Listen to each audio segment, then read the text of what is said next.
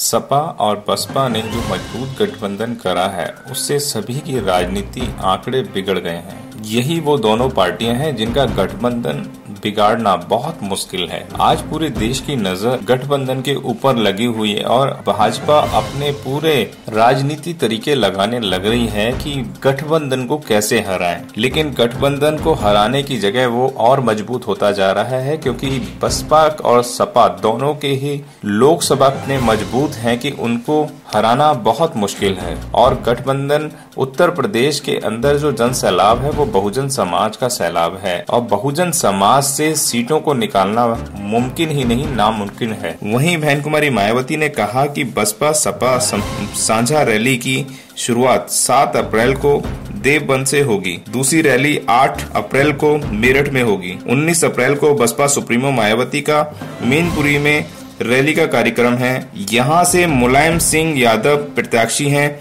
ऐसा हुआ दो दशक बाद की दोनों नेता एक मंच पर होंगे और मुलायम सिंह के लिए वोट मांगेंगी बहन कुमारी मायावती। ये एक अपने आप में बहुत ऐतिहासिक बात है कि दो पार्टियों के गठबंधन के अंदर और दूसरी पार्टी नेता उनके लिए वोट मांग रहे हैं। आज पूरे यूपी के अंदर सिर्फ़ और सिर्फ़ बोलबाला है तो सपा और बसपा का है, चाहे वो चाय की दुकान हो, चाहे वो फाइव स्टार होटल हो, जहाँ भी चर्चा है, सपा और बसपा के मज़बूत गठबंधन की चर्चा है।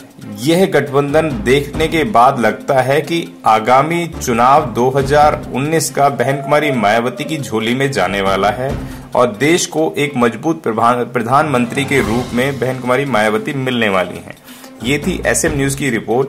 अगर आप चाहते हैं कि ऐसे ही खबरों पे नज़र बनाए रखना तो हमारे चैनल को लाइक करें, शेयर करें, सब्सक्राइब करें और घंटी का बटन बिल्कुल भी दबाना ना भूलें, ताकि सभी लेटेस्ट खबरें पहुँच सकें आप पर सबसे पहले।